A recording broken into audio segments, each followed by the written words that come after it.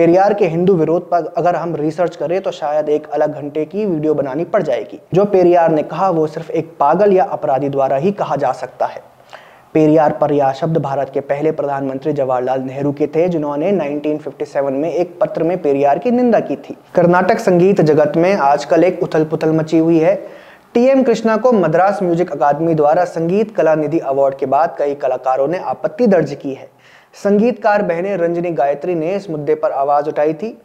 रंजनी गायत्री ने साफ़ साफ़ यह लिखा था कि टीएम कृष्णा द्वारा ईवीआर जैसी शख्सियत के महिमा मंडन को नजरअंदाज करना खतरनाक है, जिसने खुले तौर पर ब्राह्मणों के नरसंहार का प्रस्ताव रखा था और समुदाय की प्रत्येक महिला को बार बार बद्दी बद्दी गालियाँ दी थी। संगीतकार बहनों के बाद अन्य कलाकारों ने भी सोशल मीडिया पर टीएम कृष्णा के खिलाफ अपनी प्रतिक्रियाएँ साझा की। हमने इस पर एक वीडियो भी बनाया था, आप चाहे तो हमारे एक्स हैंडल पर देख सकते हैं। जहाँ कई लोग संगीतकारों के पक्ष में आए तो वहीं बहुत लोग ऐसे भी थे जिन्हें इस विरोध से समस्या हुई। जैसे कि डीएम के सांसद कनीमोजी जो तमिलनाडु मुख्यमंत्री की बहन है। खुद तमिलनाडु मुख्यमंत्री एम के स्टालिन भी टी एम कृष्णा के समर्थन में उतर गए हैं। साथ ही इस फहरिस्त में एक और नाम जुड़ा एन राम का। जी हाँ वही द हिंदू के एन राम जिन्होंने रफाल डील को घोटाला साबित करने के लिए एडी चोटी का ज़ोर लगा दिया था। 22 मार्च को एन राम ने ट्वीट करते हुए टीएम कृष्णा को अवार्ड दिए जाने के फैसले का बचाव किया। साथ ही पेरियार की आलोचना करने पर उन्होंने रंजनी गायत्री को भी खरी खोटी सुनाई। रंजनी गायत्री ने भी पलटवार करते हुए एक्स में लिखा है कि पेरियार ने ब्राह्मणों की हत्या का आह्वान किया, आपके घर की महिलाओं को वैश्या कहा।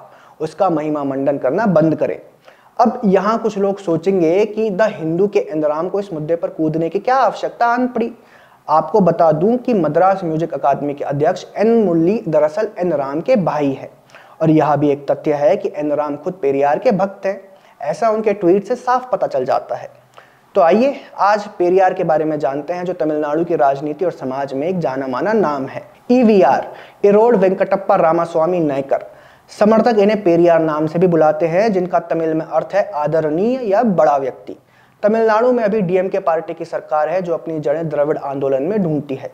तमिलनाडु की राजनीति में जो भी द्रविड़ विचारधारा से जुड़ा हुआ है, उसके लिए पेरियार खुदा समान है। उन्हें द्रविड़ आंदोलन का पिता या फिर सेल्फ रिस्पेक्ट मूवमेंट का प्रणेता भी बताया जाता है। और उनके अनुयायियों के अनुसार ईवीआर ने जीवन भर शोषित, वंचित और पिछड़ों के उत्थान के लिए काम किया। लेकिन पेरियार का एक पहलू ऐसा भी है, जिस पर द्रविड़ विचारधारा के लोग खुलकर बात करने में संकोच करते हैं। वह है पेरियार का हिंदू विरोध, ब्राह्मणों के प्रति घृणा और स्त्रियों के प्रति उनकी गंदी मानसिकता।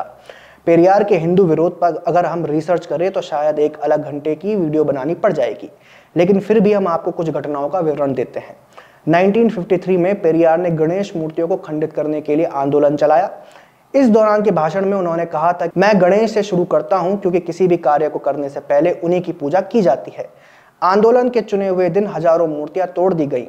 मालूम हो कि उस दिन गौतम बुद्ध की जयंती भी थी। उनके खिलाफ एक मामला दायर किया गया था, जिसके बाद में अदालतों ने खारिज कर दिया था। सिर्फ़ यही नहीं, पेरियार ने अपने जीवन में अगर सबसे ज़्यादा घृणा किसी से की है तो वह है श्री राम जी से। साल 1956 में पेरियार ने एक कार्यक्रम का आयोजन किया था, जिसमें श्री राम की तस्वीरों को जलाया गया। 1971 में ऐसी खबरें थी कि पेरियार ने एक रैली में श्री राम की मूर्तियों को चप्पलों से मारा और श्री राम और सीता माँ की मूर्तियों पर चप्पलों की माला पहनाई गई। मालूम हो कि कुछ समय पूर्व एक्टर रजनीकांत ने भी इस घटना का ज़िक्र करते हुए पेरियार की निंदा की थी। अपने जीवन में पेरियार ने श्री राम और रामायण पर भी कई झूठ फैलाए। उनके मुताबिक श्री राम ने माता सीता के अलावा अन्य स्त्रियों से भी विवाह रचाया। उनके लिए रामायण, आर्य और द्रविड़ों के बीच एक संघर्ष था और लंकापति रावण एक द्रविड़ राजा था। हालाँकि यह सब भ्रांतियाँ हैं जिनका वाल्मीकि रामायण में कहीं कोई वर्णन नहीं मिलता। अब आते हैं उनके ब्राह्मण विरोध पर।